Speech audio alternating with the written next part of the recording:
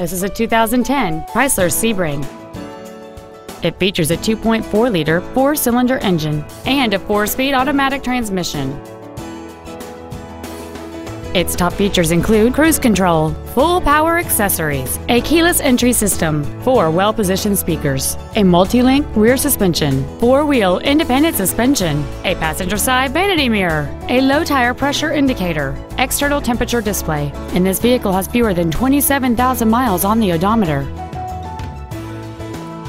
With an EPA estimated rating of 30 miles per gallon on the highway, you won't be making frequent trips to the gas pumps.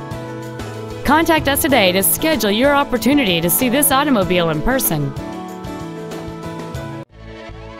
Liberty Ford is dedicated to doing everything possible to ensure that the experience you have selecting your next vehicle is as pleasant as possible.